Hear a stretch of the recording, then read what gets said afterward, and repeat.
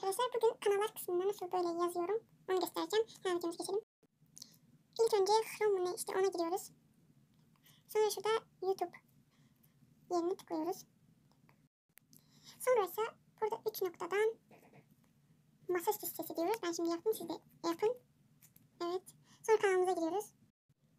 Sonra şu kısma tıklıyoruz. Sonra böyle bir şey gelecek. Şuradaysa stüdyoya devam edin diyorsunuz. Açılsın ben geleceğim. Sonra şurada şu kısma tıklıyoruz. Şuraya tıkladık da şurada en sondakini seçiyoruz. Sonra oradan işte böyle giriyoruz. Ben şimdi göstereceğim. Burada mesela kimi yazalım? Mesela kanalımıza abone ol.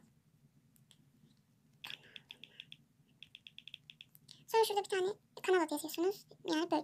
Umarım be videomu beğenmişsinizdir. Sizi seviyorum. Bay bay. Bu arada abonemiz bayağı düşmüş. Yani abone olmayı unutmayın.